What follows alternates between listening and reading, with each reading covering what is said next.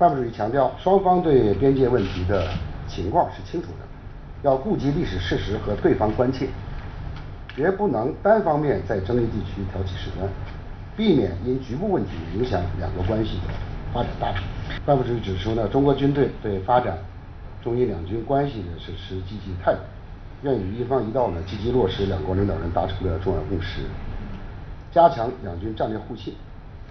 提高合作水平，不断充实两国战略合作伙伴关系的内涵，共同维护两国关系发展大局。